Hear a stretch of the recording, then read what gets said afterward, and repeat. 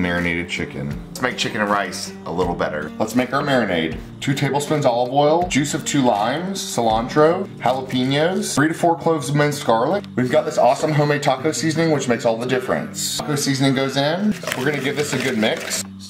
We're going with thighs because it's gonna have a lot more flavor. We're gonna trim these up a little bit. We're gonna throw our thighs into a gallon bag, add our marinade, Twist around and make sure all our chicken is covered.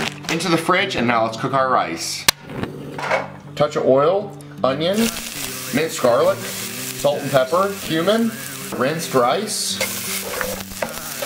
two cups chicken broth, one can of rinsed black beans. We're gonna cover, turn down, and let this simmer. We're going in the air fryer at 390. After about six minutes, we're gonna give these a flip. Our rice, shredded lettuce, avocado. On the wild side and add some sour cream.